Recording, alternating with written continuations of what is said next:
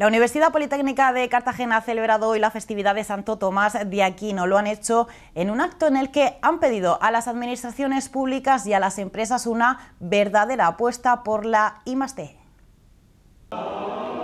Un acto ya tradicional que se remonta a 1880, fecha en la que el Papa León XIII proclamó a Santo Tomás de Aquino patrón de las universidades. El catedrático Juan Patricio Castro era el encargado de pronunciar la lección magistral en la que ha remarcado la senda del gasto en I+D por comunidades autónomas. España es uno de los países europeos con menor inversión en innovación y la región ocupa los últimos puestos del ranking.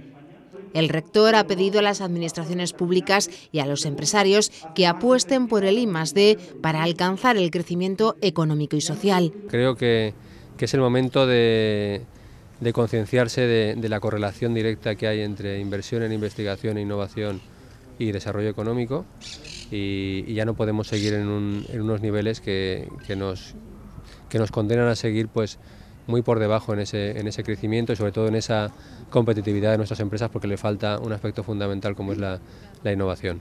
La portavoz del Gobierno ha destacado la apuesta del Ejecutivo murciano por la formación de las universidades públicas en las que prime la base científica e innovadora. Un plan muy ambicioso que se firmó en 2016 y que se extiende hasta 2020 es el Plan de Financiación Plurianual de las Universidades Públicas, que estaba previsto con una dotación inicial de 205 millones de euros y que se irá incrementando año tras año para asumir esos retos del futuro que tenemos en nuestra región.